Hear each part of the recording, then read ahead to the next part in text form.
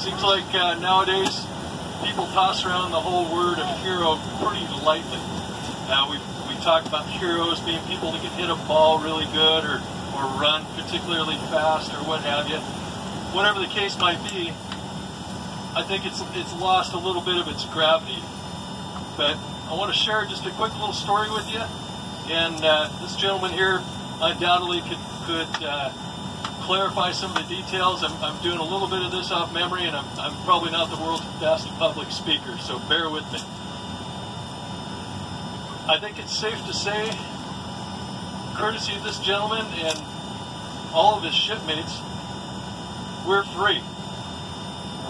Some of you may or may not be fully aware of uh, some of the events that led up to the ending of World War II and there's going to be a lot of opinions floating around. I'm certain I don't want to stir that up. It's not about that. But fairly universally understood that what brought World War II, and the war with Japan, to a, a rather abrupt close was the bombing of Hiroshima and Nagasaki. Now, again, I, I don't mean uh, any offense to anybody that's uh, sensitive to that, but those are just facts. What made that possible number one was the uh, ingenuity and uh, perseverance of a lot of engineers and, and designers that put that whole uh, project together. But it would have never, ever happened had it not been for Mr. John Woolston here and his shipmates on the USS Indianapolis. In Indianapolis made the trip out to Tinian pretty much uh, on the slide. A lot of the, the folks on the boat didn't know what was going on necessarily as far as what their special package was that they were delivering, but they made it there undetected and safely, delivered the bomb that was later dropped on Hiroshima, and then started to make their return. Unfortunately, July the 30th, 1945, Japanese submarine I-58 got lucky, got real lucky and happened to find the USS Indianapolis and unfortunately sunk her. Two torpedoes, one amidship, one at the bow. The ship only lasted about 12 minutes before she sank. Originally, there was uh, just shy of 1,200 men, about 1,196 men on board that ship.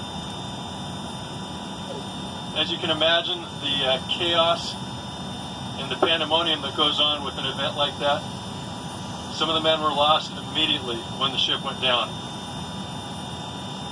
About 800 or so survived the initial sinking. Many of them were in life jackets, including this gentleman here.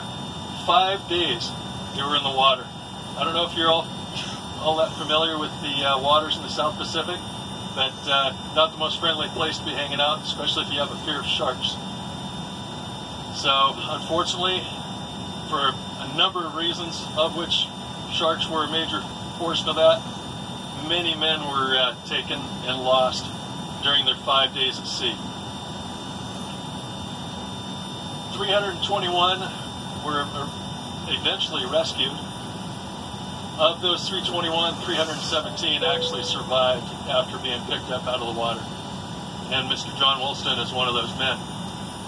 One of 22 surviving USS Indianapolis crewmates that are still alive with us today, and one of the, great men of World War II, and somebody that I personally feel we owe an incredible debt of gratitude to, and a tremendous honor. Thank you for your service. Thank you.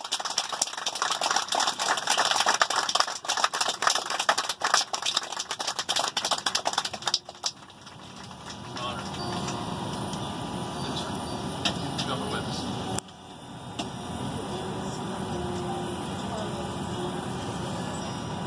lucky.